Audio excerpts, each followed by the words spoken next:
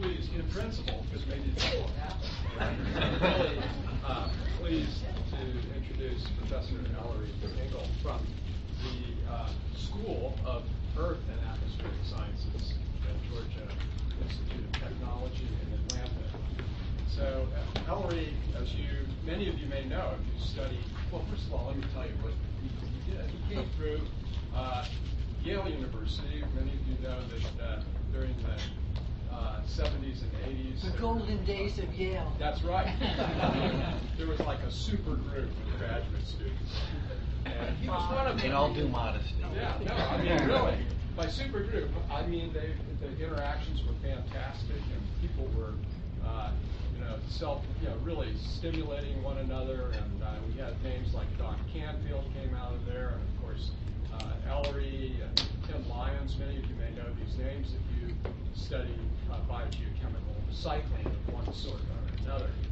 So Ellery in particular uh, made his name, I think uh, it's safe to say, in the area of phosphorus chemistry, all about phosphorus and its geologic record of storage and cycling during the last 500 million years, and in the modern ocean as well, and in the atmosphere. Some of you heard yesterday, he gave a special seminar on aerosol uh, chemistry of phosphorus and iron.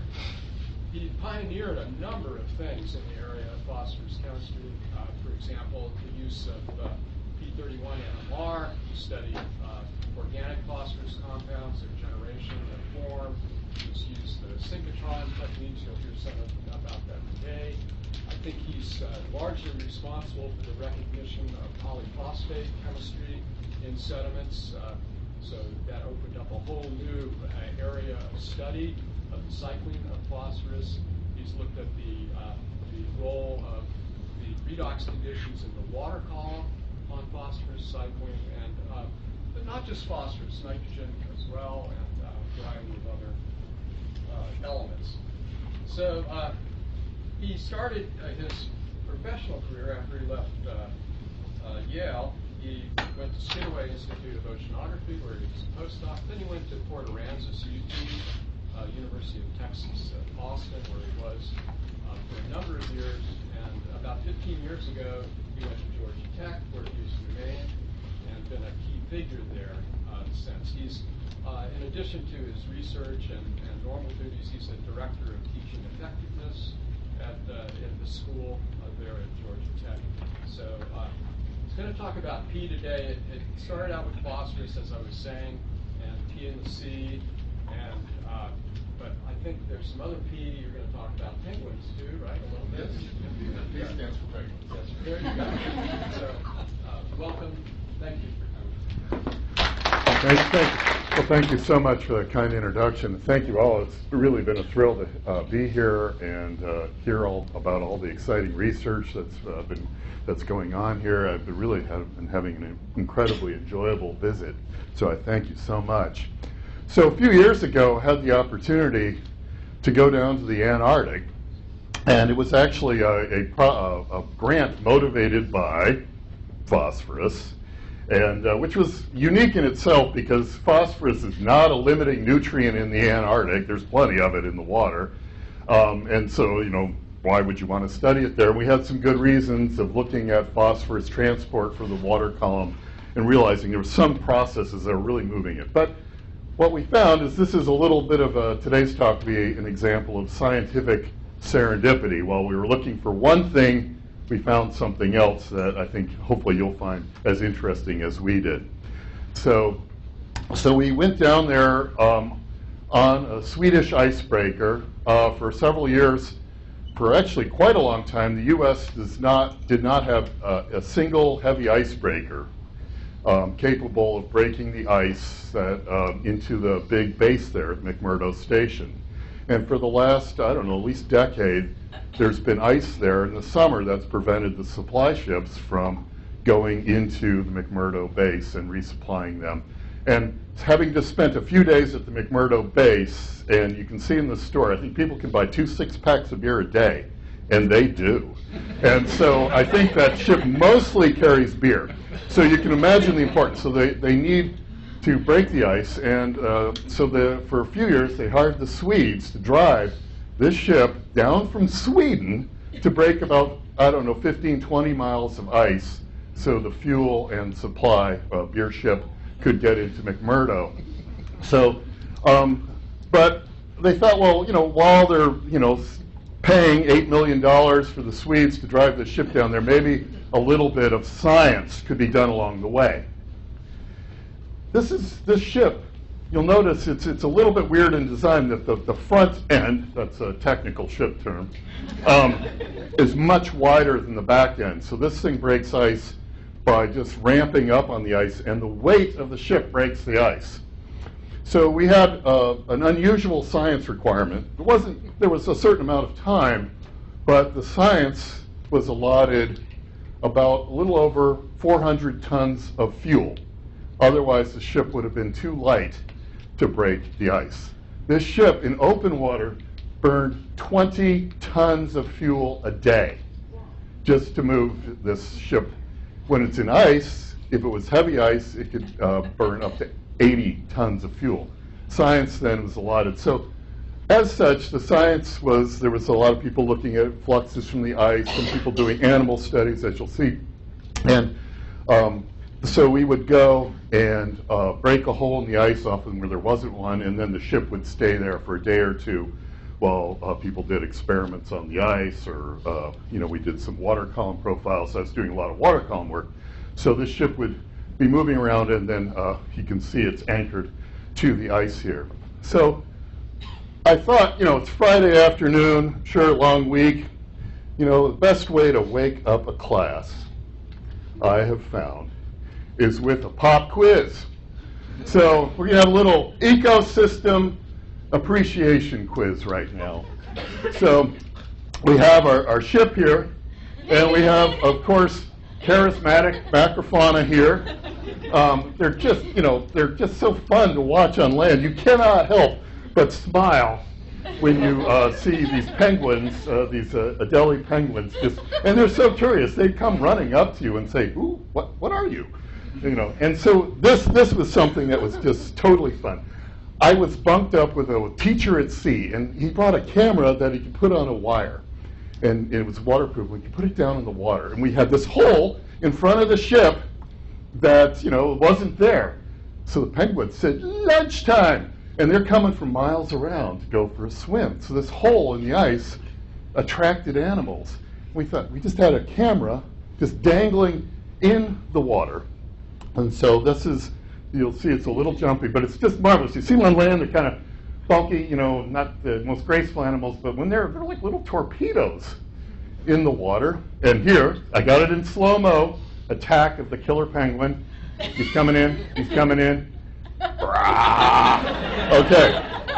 So he's seeing something shiny, and he's uh, he's trying to attack it. So, first question of the quiz: What do Adelie penguins mostly eat in the Antarctic? Krill. I heard. I heard krill. You gotta gotta speak up. So they they do eat um, krill as the main uh, portion of their diet.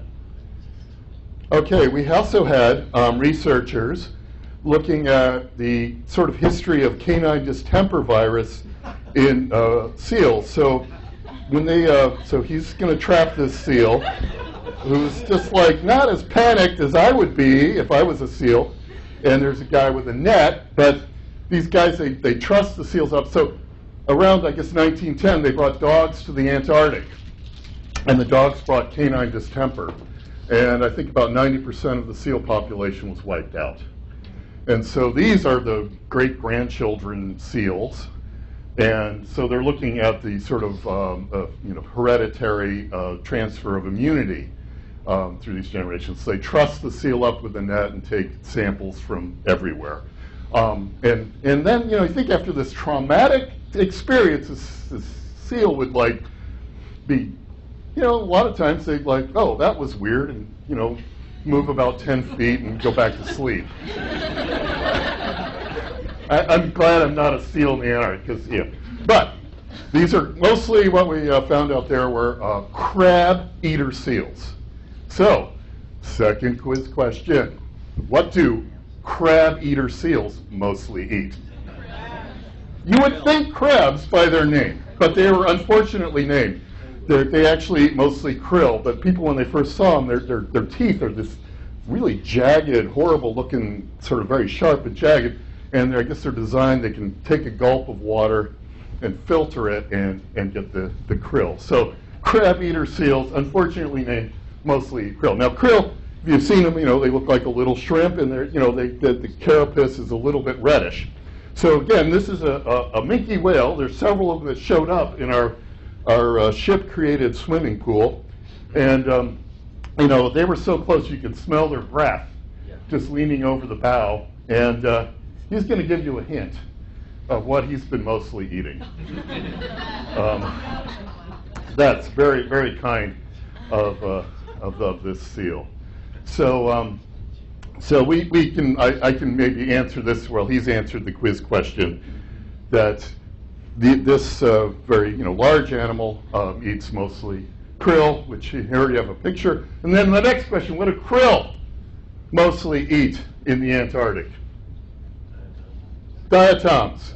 And you probably say that because you can see this sort of brownish area in the diatom showing a little bit of what uh, he had for lunch. And, you know, this is maybe a little with the sunlight filtering too, but again, with the camera, with our, uh, my teacher at sea, we were just squealing with joy. We, we actually had the camera underwater, the whales went by, we were uh, just a you know, happy bunch. But you'll see, actually, you know, this is maybe not the best view, but a lot of the areas of, of ice, um, you have um, brown ice. And so within brine pockets and such in the ice, there's diatoms. There's also open water diatoms. So here's just a light microscopic view of a typical Corethron genus uh, diatom there, and you can uh, see the uh, sort of photosynthetic bodies within that organism. And another one here, um, maybe. Um, I guess, uh, give me a second. Yeah, it's moving.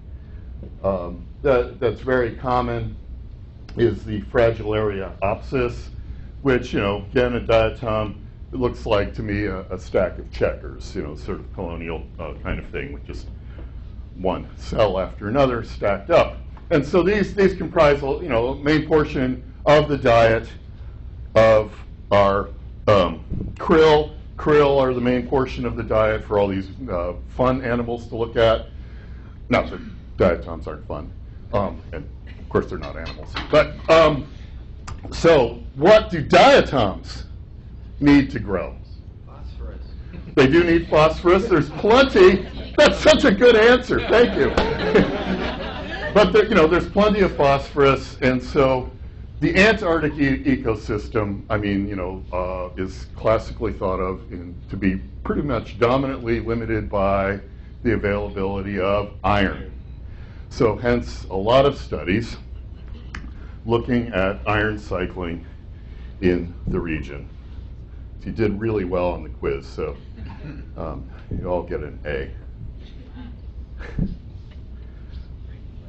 So, so we were down there, like I said, to look at phosphorus, but then we ended up looking at iron. And um, so here is the basic cruise track of where this ship went. And it did, as you can see, by these various sampling locations. These are places where the ship stopped, mostly in the ice, for samples. This was a two-month-long cruise, um, and uh, started around uh, just after Thanksgiving, where they fueled the ship in Uruguay, and then we got off about two months later. So we got Christmas, New Year's, Santa Lucia Day. Learned a lot about Swedish culture, and um, they have this lovely food item. It's uh, fermented fish, and the cans are bulging uh, because, uh, and it is the nastiest smelling thing you have ever smelled. It didn't taste as bad as you would think, but, um, but it was fun to have this sort of cross-cultural um, experience with the Swedes, um, and. Uh, but we, we made many stops, and we're gonna, I'm going to show you just a, a one nutrient profile, sort of just uh, stringing these uh, various stops together, sort of where. So we're in the, the shelf, uh, more of a you know more coastal region of Antarctic, and a little bit in from the uh, circumpolar um, ocean.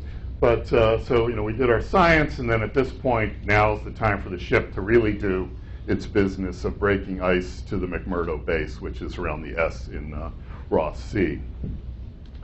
So we uh, think, you know, why study iron in the Antarctic? Well, you know, I think everybody's probably seen this picture and, and such. You know, there's been a lot of, you know, uh, money. It was it that John Martin said that, you know, give me a tanker full of iron and I'll give you an ice age or something to that effect.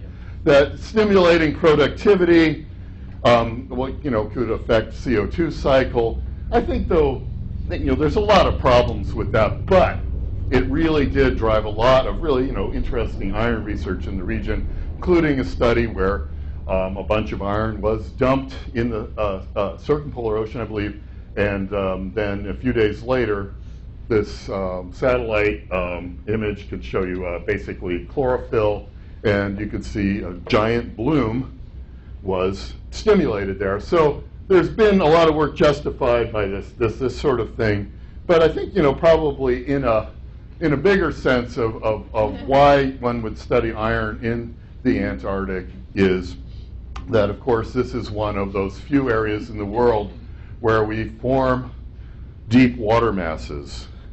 And those deep water masses move throughout the ocean and reappear sometimes many hundreds to thousands of years later, containing nutrients that they gained from processes happening in areas like the Antarctic and where they resurface. So, you know, what happens in the Antarctic does not stay in the Antarctic. If you remember the uh, slogan for Las Vegas, you know, what's you know what you do here stays here, you know, but the, this this kind of thing. So, I think in more of a general sense, it's just understanding. Um, the processes there, what's moving nutrients like phosphorus, like iron, through the water column, through the sediments, and that sort of thing, does set nutrient ratios for later on uh, down downstream of the ocean. So one can, uh, um, this is uh, basically Raymond Sambrotto, um, uh, put together a lot of just beautiful nutrient data on the cruise, wonderful person to work with. And you can see here phosphorus, you know, going from low levels here to high levels.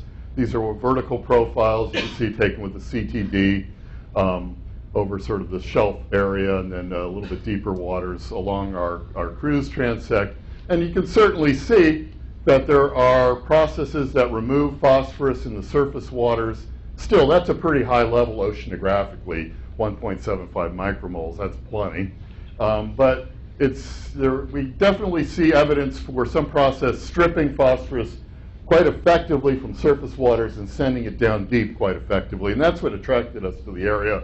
And that was related to some of our work on polyphosphates. We think, and we have evidence for, uh, in some regions, diatoms not only accumulating phosphorus in the usual way in their tissue, but also making these uh, bodies that are just almost like a pure glob of phosphate uh, polyphosphates, of uh, linked up uh, phosphate atoms within their cells. And we, are seeing this in all sorts of places. And we wanted to look for it in um, the Antarctic um, as part of uh, some of our work. We're also looking at dissolved organic matter in the region as well. So here's, of course, that, that rationale. We make the deep waters here, and then you know they come up in upwelling zones where you get bursts of productivity. And so these waters contain iron, phosphorus, nitrogen, that levels that have been set in the Antarctic.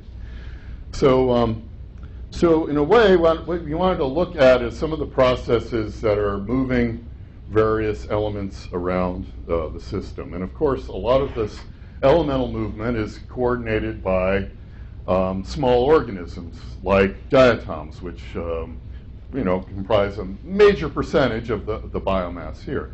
And this, this follows up on some lovely work that started, I think, here with uh, uh, Nick Fisher and uh, uh, Ben Twining and Stephen Baines, where they, you know, really started to pioneer looking at organisms with the uh, synchrotron to uh, learn a little bit more about their chemistry.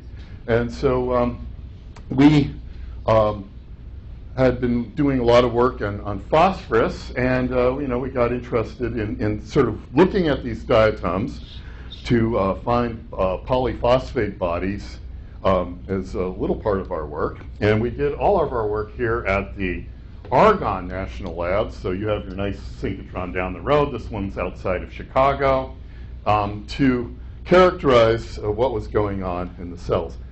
And one of the things I, I just, and I don't know, it just tickles me when I go to the synchrotron. You know, you get a limited amount of time, and there's a person in front of you and a person in back of you, and you go, hey, what you working on? And I just find it just amazing the variety of things that people are doing at the synchrotron. So there's folks like me, I, have been really loving to work on aerosols. They're small, we care about their chemistry, it's a perfect technique, and people aren't using it as much. I mean, um, certainly microorganisms, which we're talking about, but, you know, people have looked at defects in computer circuit boards, lots of biological work looking at tissues and neurons, and you think about Alzheimer's, is it aluminum uh, concentrations getting in between the synapses? So a lot of bio. Uh, there was one beamline where somebody had a chunk of the famous Tyrannosaurus rex fossil from Chicago. They were um, doing elemental mapping of a little bit of Sue the Tyrannosaurus. I think I talked to the world expert on sea urchin teeth, um, which is I love this kind of stuff. I mean, somebody's just so excited about understanding sea urchin teeth. I, it's awesome. I love it. And um, one day I was in the lab and I see these green things wiggling around. I'm like, those are tomato worms. And so somebody was uh, studying in an adjacent beamline the respiratory system of tomato hornworms and trying to image that. And in terms of, well, if you spray pesticides, I guess how are they they're taking it up? So you know, wiggling worms, solar cells, concrete, um, looking at stalagmites. Protein structure is the big money business there. That's where all the drug companies are putting a lot of things. But a lot of different. This is just a small smattering of just almost the people I have run into doing just a great uh, sort of thing. Um, I imagine most of you are, are, you know, with one down the road familiar, but just as a quick synchrotron review, you have a big circular building that, you know, it takes like at Argonne, at a nice uh, walking pace, 15 to 20 minutes to walk completely around the building. So it gives you an idea of the scale. And, um, and around that ring is you have a beam of electrons moving around in an evacuated tube at nearly the speed of light. Then those electrons at various spots along the ring, those many of these uh, one uh, device is called an undulator, and it just makes that beam of electrons basically change its momentum. It's a series of magnets, and those electrons move up and down. When they do that and they change the momentum, a consequence is they produce very powerful X-rays. They don't like to call it X-rays at the synchrotron because that sounds icky, so they call it light. Um, but you get a lot of uh, X-ray light a full spectrum, all the different wavelengths. So you got a lot of power, but when you start out with a lot of power, what that allows you to do is to focus that power down with uh, various ways of selecting just one or a, a, limited range of wavelengths from that giant flood of power. So you get one wavelength, but you still have a lot of power because you started out with the you know floodgates here and then you can have one wavelength, which then you can focus and aim at your sample and still have quite a bit of power to um, stimulate and um, characterize some of the elements present in a small particle. So the advantage of the synchrotron is the power that you know you get. And so when you do all this focusing and, and, and, and wavelength extraction, you still have something left at the far end. And you know, basically process, you put a, a strong X-ray or light in. It has an, um, at just the right level of energy. That X-ray has enough to knock an inner shell electron out of that uh, you know K shell or uh, higher shells, but you need a certain amount of energy. Below that, nothing really happens. So different elements have different energies where um, you can knock that inner shell electron out. So that electron exits um, can interact with surrounding atoms. So here's a more fancy diagram. Light in, electron out, a higher shell from an M shell, L shell, electron drops down to fill the vacancy, and when it does that, it emits a uh, signal we can uh, measure by a fluorescence signal with uh, various detectors. And we can get basically, here's a scale with energy, and you probably can't read them. These are elements sodium, magnesium, silica, calcium, potassium, chromium, zinc, germanium, arsenic, whole range of elements. Each peak is corresponding to the amount uh, present. You can calibrate this uh, under the beam. So we can, in a little spot, characterize what's, uh, what's there, at least um, in terms of uh, the, what elements are present. The, um, the beam is, uh, you know, so that we're typically using is about 300 nanometers, third of a micron, but we have uh, used some systems that the beam can get down to 30 nanometers, a little bit uh, larger than the width of a cell wall. So this is very fine scale stuff in, in many cases. So here's a picture of the uh, inside of the synchrotron. Beam comes down into a, a little metal room to protect you from X-rays, and um, and so people have used this to all, you know um, start to look at a variety of problems. So here is a diatom from the Antarctic, and like I said, we started out this this game saying, okay, we want to look for phosphorus, phosphorus concentrations. That didn't work for various reasons. But while we were, you know, scanning, what you can do is you can take our fine beam.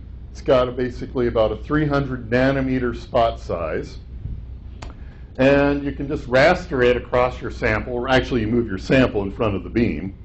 And, you know, get a, essentially each pixel is a chemical analysis that contains, you know, each pixel you have information on iron, zinc, copper, cobalt, calcium, blah, blah, blah, blah.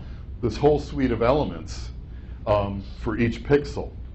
And not surprisingly, when you look at the, oh, I guess it's cut off, but this is the silicon, oh, there it is. Silicon channel, um, you know, and map a diatom for the concentration of silica.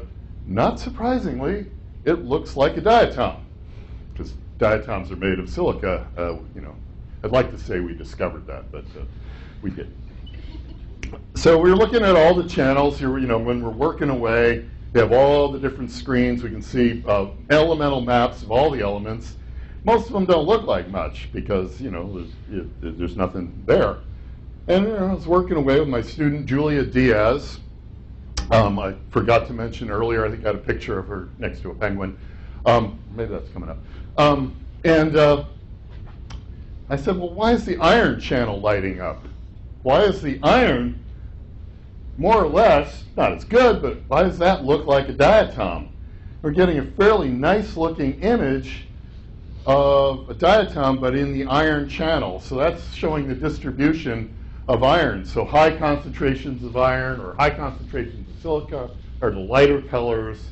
The background material is, uh, you know, just the darker colors. So it's, you know, the brighter, warmer colors, higher concentrations. Certainly does look like this Corethron diatom. So we started looking at the diatoms, and then we said, okay, we have the diatoms. The image of that diatom is, um, you know, uh, also mirrored in the iron channel. We also noticed a couple things, these little bright spots, which we called hot spots. So there was also associated in the sample particles really rich in iron. And I'm like, oh, crap. You know, um, you're thinking, you know, you're on a ship. Um, we are not trace metal people. I don't know if any of you have been around trace metal people. You know, we weren't wearing the Teflon underpants and the, the, the whole thing. So, you know, they are. Would insane be a, a, a, a bad term? I mean, they're very careful. That's um, to you know avoid contamination. You are working on a ship made out of iron, and so there are possible sources of contamination. And trace metal people go through enormous lengths to avoid that. So we're thinking, oh God, we've got these obviously bits enriched in iron. Luckily, I called up uh, Ben Twining, I said, you know, you know and uh, talked to him about this. He says, you know, actually they see it in their samples that they took in the cir- circumpolar ocean, and they're very careful. And so this is something actually inherent to the uh, just the typical samples. There are iron-rich particles, uh, I guess, you know, very small in the water. So yeah, we have a scale bar here. So these are sub, you know, about a micron maybe, and uh, so we can characterize. But the nice thing about doing the synchrotron is that we can, with very uh, sophisticated image processing software, I said, I'm really worried about just the iron contained in the diatom. I may not care about these hot spots, these extra particles, and I can just integrate or look at, using the software, the iron in the diatom and look at these particles separately. And that's what we did, because our ultimate goal is how much iron is being taken up by these diatoms.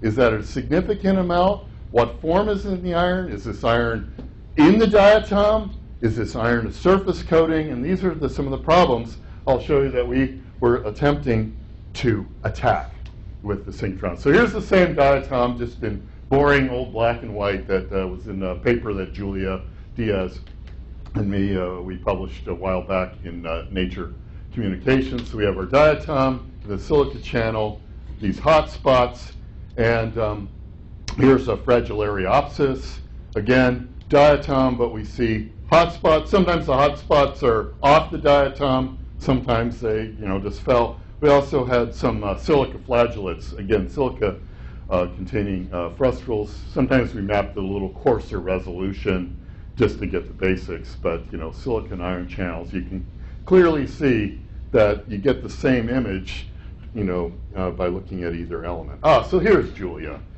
that's been a real, uh, you know, pioneer on this work, real good partner, and she's now at Skidaway, uh, starting a faculty position. Here's a penguin for scale. So, um, so, and this is one of those stories we were like, they let us, you know, and the boat stopped and they said, okay, everybody can get off and walk on the ice if you want to. And we're like, oh man, we're in the Antarctic and we haven't seen a single penguin.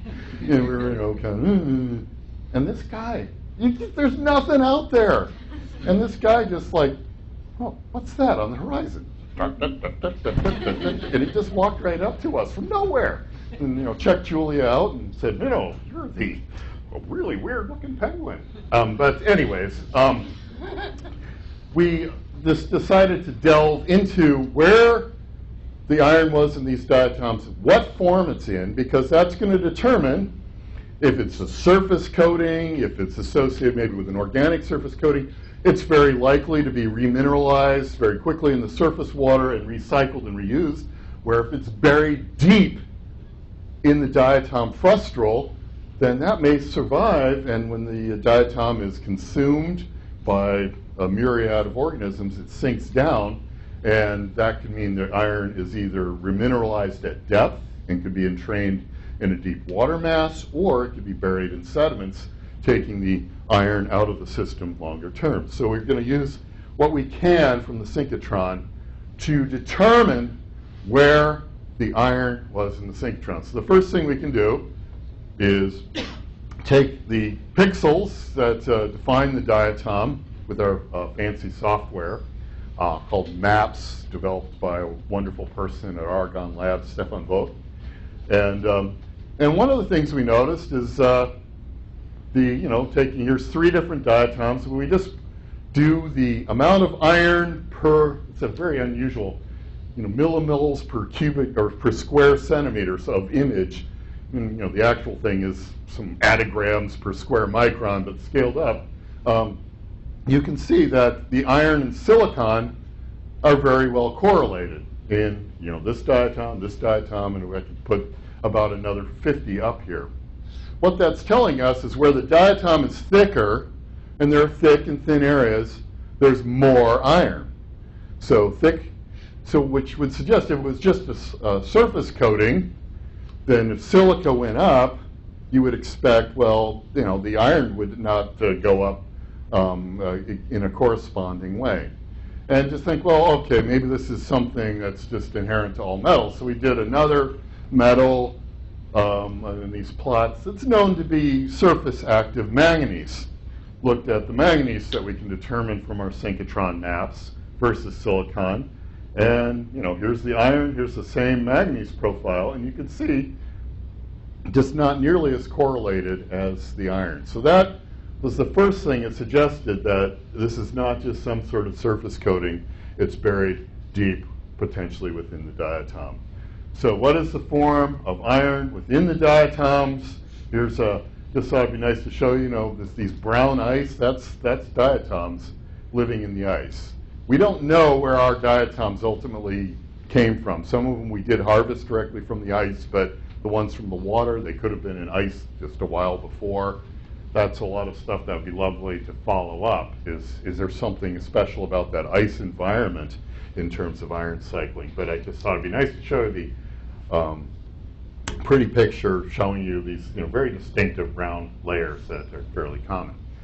So, in, uh, so one of the things is that we can do, this is from another study, but is once we identify um, uh, like one of those iron-containing hotspots or just a general area of diatom, instead of mapping, we can just aim the beam, this highly focused X-ray beam at one particle, and we can vary the energy of the beam over a limited range. And what happens is at low energy, nothing happens, nothing happens, nothing happens. And then you hit that sweet spot energy where there's enough energy in the beam to knock that K-shell electron out. That's called the absorption edge. And then that's where the upper shell electrons drop down and give you a fluorescent signal. So this is that special thing. And then you keep doing, and that electron that's ejected, it, it starts interacting with the uh, neighbors of that iron atom, nearest neighbors, second nearest neighbors. There's a lot of complex interactions. And a lot of those interactions generate subtle but diagnostic bumps and wiggles um, in the higher energy regions. And those can tell us something about the specific phase or form of iron present because we're getting information about neighbors and nearest neighbors. So the other thing that's really awesome is that the uh, absorption edge, this sweet spot where the uh, electron's knocked out, is very sensitive to the oxidation state of iron, and we've done a lot of studies with other elements, sulfur, selenium, and that have uh, even more dramatic um, oxidation cycles. And there is a very, in the synchrotron world, this is big, a big shift in the position. So here's a spectrum for iron 2. See, it's a little lower energy where that absorption edge occurs versus iron 3. So we can distinguish the two. And there's a little feature here called the pre-edge centroid. And it's actually a fairly decent feature, but this, this other feature is so overwhelming that you don't see it. And this is actually a little bit more reliable, the position of that centroid, which is hard to see here in determining oxidation state. There have been studies on that. So got a nice edge shift. And if we blow up and do some uh, processing to kind of uh, flatten, you know, do a, a baseline correction and fit, you can, um, we can use this position of this pre-edge centroid here to get uh, a fix on the oxidation state of, of iron. So we can have, you can make a, you know, elemental maps, here's iron and aluminum, see if they're co-located. But over um, our work in, in aerosols and iron, we have developed databases of uh, standard materials um, for iron. So I'll just show you um, you know, various iron minerals, silicates, you know, organics, oxalates, sulfates, oxides, um, and, and, such. And we can um, use these patterns, and you know, there's subtle differences, and we can use a database of these patterns to fit our unknown spectra to get an idea of um, you know, the specific form of iron that's, that's present all these databases um, we have made available to all um, in our papers as supplemental online materials. Um, and uh, you know, maybe, maybe not in the Antarctic paper, but in our, some of our aerosol papers so that other people can use them. Not as much of an issue for iron. People have published a little bit of databases, but for phosphorus, we have published uh, all our standards for people to use so they don't have to rerun stuff um, I can get on to the fun stuff at hand. So one of the things we did, and, and we we did a lot of analyses, both looking at aiming the beam at just a thick spot in the diatom where there was a lot of iron, what's to do with spectro- spectroscopy of the iron contained within the diatom, and spectroscopy of the hot spot iron. Are they different? And bottom line, here's a spectra of our iron incorporated in the frustral, and this dashed line is a fit using our database of standards. And the best we can say is that our iron incorporated in the frustral is mostly reduced and is best fit by mostly an organically bound iron with a little hint maybe of some iron oxyhydroxide.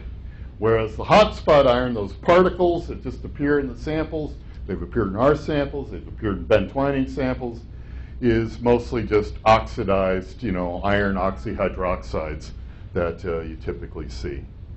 So, um, and here is just that uh, a graph uh, or a, a, histogram of the pre-edge centroid position, um, showing you the position of a reduced iron would be over here, and these uh, open squares are the um, uh, iron contained within the frustral, and these are our hot spots, and here's a iron, uh, oxidized iron standard. Bottom line, iron in the frustral seems to be more on the reduced end, distinctive relative to those hot spot particles. And this iron 2 also, to me, supports the idea that this iron is not just some surface coating, um, that it is deeply buried within the frustral, protected from the oxidizing environment of the ocean. I think iron 2, just there as a, a surface coating in the diatom, would be more or less rapidly oxidized to iron 3. Um, so, um, I don't know. Did, did Karl Turekian come up with the all you need is one data point and a good idea? So this is where we come from. You know, you got your, your one number, you got to extrapolate it. So, like I said, we weren't going out there to do an iron study, and uh, but we thought, well, what is the meaning of these numbers for the very poorly constrained iron budget of the Antarctic? So one of the things we still worry um, is, you know, in the iron business, contamination and all that sort of stuff. People worry a lot about, and and people certainly, when they've looked at metals and metal uh, budgets associated with organ organisms all in the ocean, a very common practice is to do various chemical treatments to perhaps wash off surface coatings, to, um, you know, I suppose if, if somehow um, things became. So what we did is we had, we took uh, some of our samples that were absolutely untreated, no chemical preservatives. I mean, all the samples we've done here um, were just taken out of the water and frozen. We, you know, Ben Twining uh, found out that a lot of the chemical pre preservatives, like formalin and such, that people commonly preserve their samples, are full of trace metals, and they have to be extensively cleaned. But these, we had just had about a subset of about 50 samples, which we found, okay, just untreated. Here's the molar iron to silicon ratio in those untreated samples. A very common treatment is a peroxide wash to, um, you know, in, in, organisms. So we thought, well, let's just see, you know, what happens when we wash them. We lose a little bit of the iron. And then we got the trace metal clean, hydrochloric acid, and we just went nuclear. We said, we're just going to wash the hell out of these things. So all that's remaining has got to be stuff that's really bound uh, closely with that diatom. So this is, uh, you know, some number of, I don't know, probably about 15, 16 diatoms that we washed in acid, then analyzed on the synchrotron. Very strong. I don't think anybody, even the trace metal people, use that kind of. But this is the number we use. We said we want to be totally conservative. So this would be the best number of the iron really locked within the frustrals. And so there's, you know, a limited studies of people that have estimated silica fluxes from the water column there um, uh, down into the sediments and sediment burial rates. So we can take those estimates and an iron to silica ratio and start extrapolating wildly. And um, so you can see people have made estimates, highly constrained, of like what's the atmospheric deposition of iron to the Antarctic. So it only varies by a little bit more than an order of magnitude. Um, poorly constrained how much is coming in from above or how much is coming in associated in the ice, um, which I guess would be ultimately atmospheric or, well, I- you could have a number.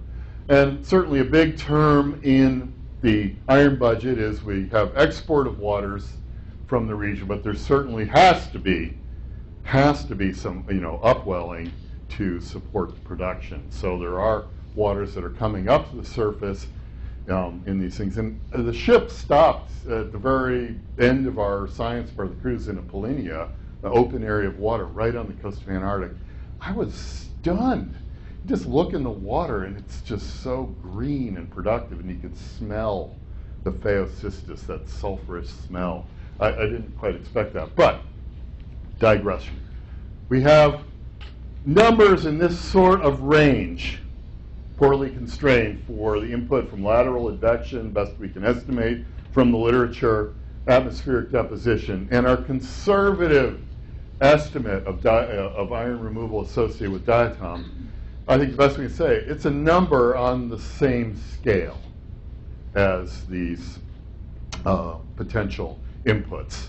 So the bottom line is that these, this mechanism could remove a, a significant amount of iron from the water column um, in this region. And people now are discovering like all these hydrothermal systems, um, you know, in the shelf regions that can supply iron. So this number may be bigger, and that would help us in that this is an extremely conservative estimate. But it's it's a serious number. It's it's big based on a very small number of samples, but you know, you've got to start somewhere. So this is the mystery. I'm not a biologist, and I don't really, you know, I'd like to think like a diatom, um, but why?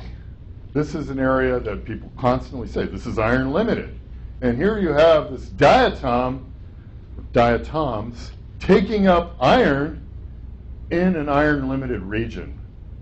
That seems just stupid. Um, why were they doing it? One of the things we speculated on is that perhaps um, the diatoms are taking up iron because somebody else needs that iron more to grow. So, in a very simplistic thing, the two main organisms that people most often, I think, talk about in the Antarctic are the diatoms that make the silica frustral and more of just your uh, phaeocystis, algae that you know has no hard part, and at least what I can tell from the literature that the phaeocystis may have a higher iron requirement. So if you're a diatom, maybe you can take up extra iron and keep it away from the phaeocystis, thus expend, uh, you know, extending your productive season and keeping somebody else from growing that needs it more. Pure speculation of why you would do such a, a silly thing in these regions. So to conclude, I think based on our, our data set so far, where these diatoms have the potential to remove um, significant quantities of iron, um, it's probably locked in the frust. It, it, looks like it's in deep in the frustral, so that can be transported to uh, deep waters. Um, certainly, if we go back to the iron fertilization experiments, if you think about those, well, you add that iron. This could confound things because some of that iron is going into diatom frustrals and not towards direct production. and this may be that idea of that we're having a competition of organisms, and that may act to sort of shift these, uh, my, you know, uh, uh, populations, microbial populations, from one to another with different iron requirements. And you know, the other issue is the ice, and the whole ice story down there is in a constant state of change. And so we can see sometimes the diatoms are living in ice. There's open water species. We don't know. We didn't have enough samples to say icebound versus open water have different iron uptake. If they do, then changing ice volumes could impact the iron system. So I think sort of more specific studies looking at you know diatoms more carefully sampled in environments would be a good idea. And of course, um, lots of acknowledgments from the, the Swedes, the National Science, Argonne, and lots of wonderful people that we got to uh, work with uh, on this opportunity. So there it is. Thank you.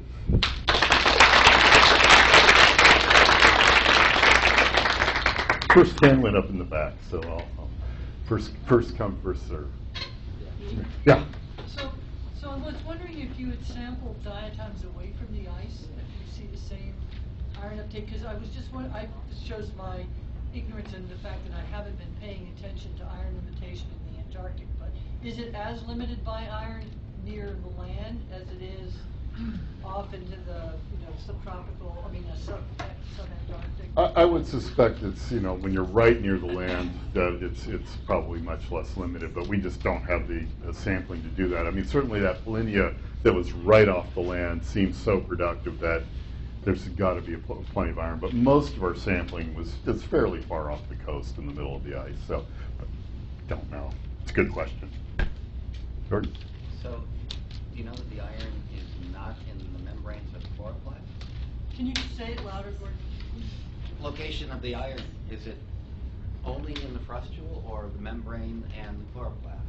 I would say um, that most of the, um, you know, we- we, to look at membranes and chloroplasts um, is, you know, one has to be very uh, careful in terms of the uh, preparation, preservation of the sample, um, and, you know, because uh, those structures in just sort of a normal drying process just get torn out of the cell and, and, and compromised. So Ben Twining's work has looked more in, in those in the organic fractions, but we're pretty much just focusing on um, the, the frustral itself. So we have no information on uh, of, the- that pool of iron, but that certainly Ben has shown that that contains significant iron, but we think that is stuff that's more likely to be uh, faster cycled because it's, you know, in this nice juicy organic material. But Yeah, but because all of these, elec- many electron carriers have uh, iron at their core. Right, and, and there are some studies that show, you know, maybe some of the process of silica de- deposition involves iron-containing molecules and other metal-containing molecules. So maybe that's just a vestige of making a silica frustral. Yeah. Does anyone have data on diatoms, non-Arctic diatoms? Because maybe this has something to do with the, um, you know, limits to photosynthesis or amount of light, and maybe, maybe this helps. Not much.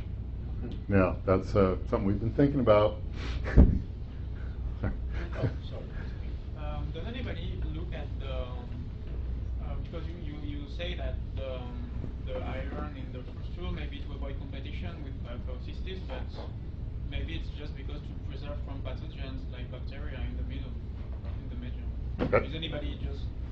That, that, that sounds like a, a, a intriguing idea as well. I, I, we, all we could do is speculate. I mean, we have no idea, but I mean, that, why? But that, that's a good one. I mean, I like it. Way in the back. When you were showing those, um, I think there were six graphs where you were correlating iron with silica, and then in the bottom you were correlating manganese with silica? That's correct, yes. So there didn't seem to be too much correlation in the first two graphs between manganese and silica, but in the last graph, I think when the frustule was supposedly thicker, there seemed to be more of a correlation. A little bit, yeah. So wa- it- Did you notice that in other parts of the frustule, or was it? I, I- I think, you know, the iron was just so much more apparent, you know, when we just looked at maps and the manganese and that. But there may be, you know, since iron and manganese do often, you know, co-occur, go through some similarities in cycling, I would expect maybe a little bit, but it's certainly not, just not as uh, dramatic, in at least our opinion, as uh, the uh, iron. And of course, the iron is more, you know, that, that's what everybody is concerned about in the Antarctic, and uh, manganese. Yeah. So, um, a couple of things. There had been a hypothesis about iron silica interactions in silicification for diatoms for a while. And I guess John Mock has suggested that there actually to be genomic evidence that there might be iron-containing proteins associated with silicification, might and they've done some experiments suggesting there is also iron incorporated into the frustrule, and the argument is that that is actually iron associated with proteins that Mhm. get basically just intercalate, intercalated into the, into the silica frustule. So, I don't know if you have to necessarily propose uh, a competition argument. There's actually might be a very direct physiological um, uh, uh, link between iron and silicification. And these guys in the Southern Ocean are really tend to be silicified because they're like little tanks Mhm. compared to the rest of the ocean. Um, another thing I wanted to mention is I think that if you look at the iron to silicon ratios, you have that slide. Uh, Yep. the actual number, the conservative number, was like point one, a little under point one, right? So that's, Yeah. I'd say silica, people typically think it's equimolar with nitrogen. So you're looking at about a ten micromole iron per mole carbon just in the frustule, which is about what people typically assume for the protoplasm in these, in these waters. That would suggest to me this is a pretty iron-rich um, culture. I mean, I think your numbers are right, but I would, I would be surprised if, that you get a number like that. We didn't see, when we measured these things in the Antarctic, we didn't see numbers close to that in the um, frustules out in the open ocean, um, near the Antarctic front.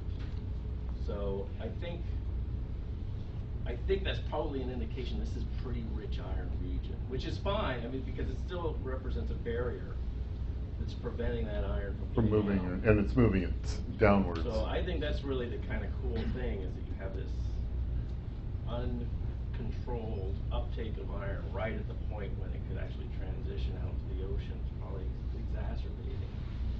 And I think that gets to Josie's question, you know, of like looking at other areas, and I, yeah, I know there's, yeah, a little bit in the uh, circumpolar, you know, yeah, that, is this iron uptake just an inherent thing that, of, of things that diatoms do to have a silica uh, frustral, and does, what, and does that uptake vary depending on how robust the frustrals are, or some other environmental parameter? but, Right, right.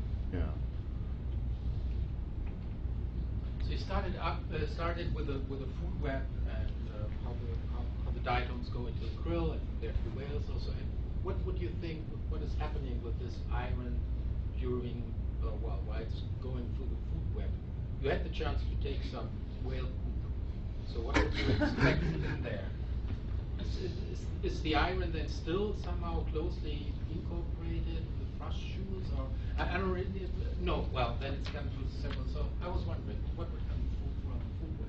Well, I mean, you know, they certainly know that um, the frustrals, as they're moving down the water column, and that usually, you know, often that's occurring in some sort of packaging, whether it's in uh, whale turd or uh, other mechanisms.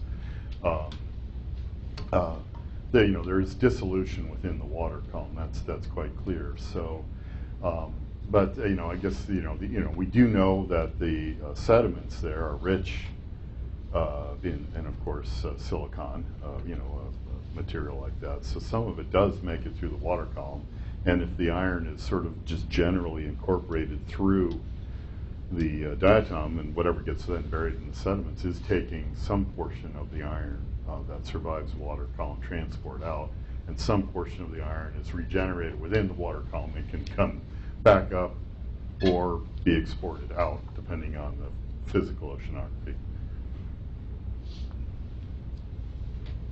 Well, uh, I was, I did forget to mention that Ellery was a student of Robert Berner. I mentioned that yesterday, but I forgot to mention it today uh, explicitly. So uh, he's very much steeped in that area of uh, sedimentary processes in addition to these water column processes. So those of you who will be joining him for lunch now uh, can pursue any number of topics.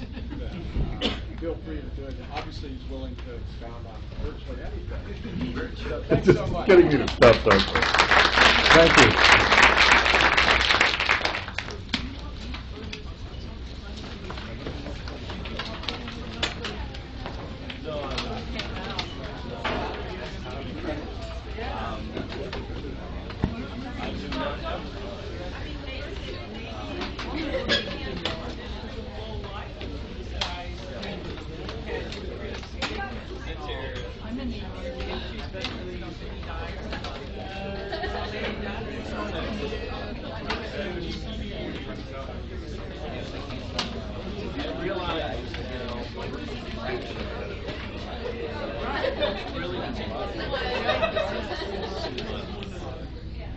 So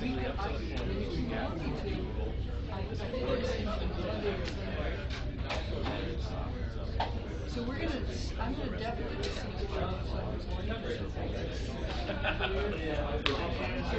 And I'm also basically designing, I just want to. So I'm, I'm actually making work for myself. So um, I could take a. But, um, I would look. Well, that is a good question.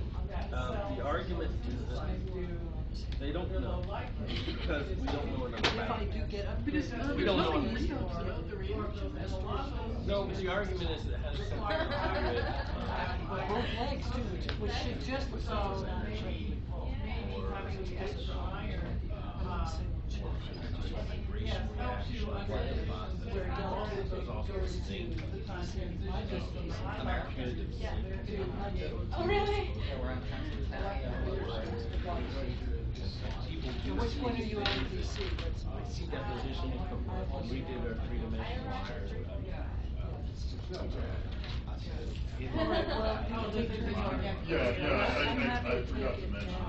down. that, let's see. Like all of Or either that, or give it to you guys at the end. but if it's not accidentally getting it.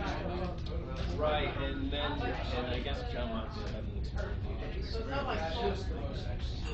Yeah, well, I mean, one way or the other, we could, we could figure out what we'll do. changed. Genomic responses and some of them are annotated as. I'm, gonna, I'm looking at it. That's a lot. So there's, but no one, this is the first time I've seen evidence that it's organic. And reduced, which is also. That's right. Really Which is, strange. which is strange. How would it stay reduced? Why wouldn't it be Give me your populated? Why wouldn't it? Oh, yeah. Well, it's often, iron is usually in the iron soil. Yeah, because the All right, cell so what's reduced the it, after people that? reduced. Right, yeah. but it stays reduced when it's in that medium. Actually, Um, there's- can't have lunch until Ellery appears. Oh, okay, It so I actually better. Usually Those far. are pretty strong bombs, those are bombs. Non-permitted, uh. Does everybody remember Yeah. this, you we got a place in the college, I did six months, is. Yes, people will remember. There's no way people will forget. Oh, just pizza. Yeah, come on. Very Besides, That's the house. It stays reduced. It's when you finally, if you pop it off, it locks up. Yeah, mine, mine, This one will go. I can adjust. And so there's, So as long as it's stable, it'll. But we might as well just Yeah. unpack it. it's a little, it's, yeah. The air, when the airline is full of map So the tubes, answer is, we it, don't uh, know. People have said, you end up with, seems to you be not some enough link space, going because on. the air- There's a bunch of lines of evidence. So I, so to me, it seems more likely to. From people, people have suggested zinc, actually. I think your poster was first, good, when I said too many words, I mean, it's just sort of. And you do, and people And, have. and you're, you wrote it, zinc did it in a very process. conversational style, more like an easy to follow. But I think different especially in the, that. like, a lot of the poster sessions where it's really crowded, it's hard to deal with it. Well, these, you know, iron is used over. Reaction, the- the dehydration. But once you lay down, And it's almost always. once you lay down, so my, I guess my line is, if somehow you need to make the frustule, wouldn't evolution have favored some diatoms that could do that without losing the iron Yeah. into the frustule at some point? You know, I think that Unless there's a- we unless don't there's a see this so much in, Normally. in, in the, in the iron limited regions. So They're- it's these, they're- it's these diatoms that you have a lot of iron and have really. You saw that thick- right? There's And have- basically just a shell, look like. And the they most also have really thick shells. But they so have pretty thick shells, and, and this thing, and, and most of the, but most of the ones we were looking at were really thick. I mean, they were the highest didn't silicifications of- of any marine diatom And they ever didn't have, measured. they didn't have iron. And you could see the, the chloroplast is like, bam. I re- I remember your images of Yeah, the the plants chloroplast is lighting right up with there. iron, And and the it's like- nucleus lighting up with zinc, right? And But- sometimes we got images on the nickel,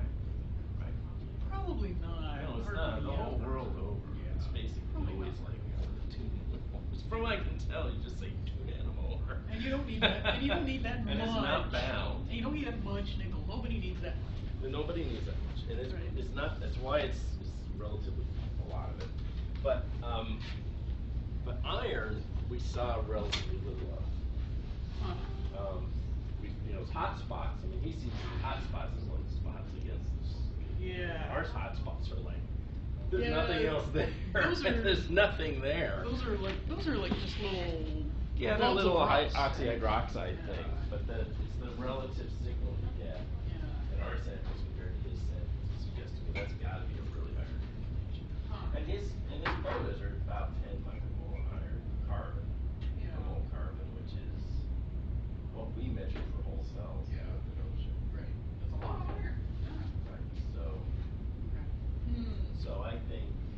there's some sort of